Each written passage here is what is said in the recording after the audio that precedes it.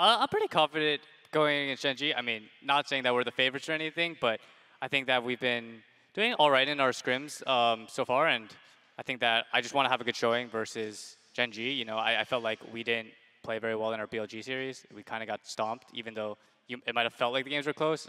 I didn't feel like we were winning at any point in those games. Um, I appreciate the honesty. yeah, so hopefully that uh, that'll change against Gen.G.